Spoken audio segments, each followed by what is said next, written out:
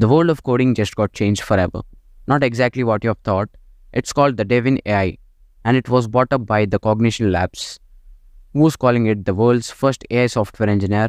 Right now, it's still behind the closed doors, but many people are worried that they are going to lose their jobs because of Devin. Some members are ready to pack their things and start selling. Hello, Saityo, Kapalo, Righto. Welcome, sir. Right, hit me. In today's video, we'll dive deeper and see what's Devin and will Devin reduce IT jobs or is it all hype? Let's go, let's roll the intro.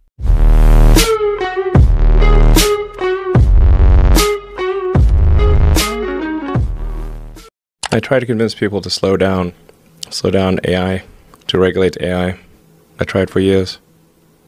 This seems Nobody like a scene in a But how capable is Devin actually? And should you really be concerned that this is going to take your job? A great engineer once said that learning how to code is legitimately a modern day superpower. Yes, I think AI has to tell something about that. The four year degree and years of coding experience. Will Devin actually do whatever a human software engineer can do? Scott Wu, the CEO of Cognition AI, clarifies that he created AI to replace his work and the Devin AI has access to all the same developer tools that a software engineer had and can plan and execute complex engineering tasks requiring so many like thousands of decisions. Devin performs every single step and if an error occurs, it fixes by its own. It's equipped with a shellcode editor and a browser within a sandbox compute environment, everything a human would need to do. It accepts feedbacks and works together with you through designs choices as needed. For an example, Devin can automatically learn from a blog post and after reading a blog post, Devin runs ControlNet on the model to produce images with message for the user. Devin made an interactive website and it adds features which are requested by the user and Devin can also fix bugs, find bugs in the code bases. It addresses bugs and feature requests contribute to the mature repositories and can replace humans. Yes, seriously, they gave Devin some real jobs on Upwork and it is able to complete those works. And Devin outperforms GPT-4 and all other AI chatbots on the software engineering benchmark with 13.86% of issues solved correctly. SWE benchmark asks agent to resolve the real-world GitHub issues found in the open source projects like Django and scikit-learn. Even though 13.86% is more compared to other AI chatbots, it's not nearly as good to replace humans. But Devin AI is nothing new as we got these LMs before too.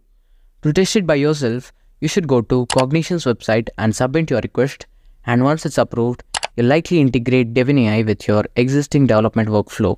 Provide the Devin with clear instructions about the software you want to build and its outlining functionalities and Devin will take reins, access resources and uh, independently write your code. Once that's completed, you can view and make changes of the needed in the code which Devin generated. In your final approval, Devin can even assist you in deploying the finished software. Now, the threatening question will Devin replace programmers? The answer is no, because I've already said this isn't anything new. LLM have been able to perform coding in the past. They are able to perform simple tasks, but once you start asking these AI more difficult questions or problems, it doesn't perform as well.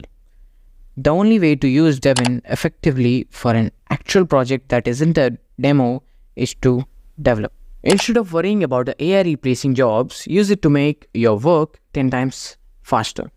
Okay, tell me how many stories or uh, news you have heard about software engineers losing their jobs because their company started or decided to use an AI instead. I haven't heard of a single story. Oh, and uh, by the way, let's not forget that three years ago, when GitHub Copilot first came out, there was a similar hype, a fear that it would replace developers, but the reality is it's being a productivity booster, but not the job stealer.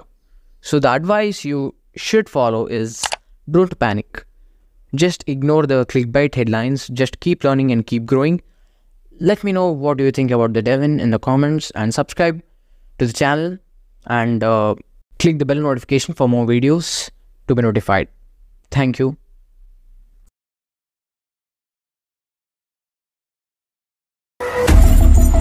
Baby, this is do or die.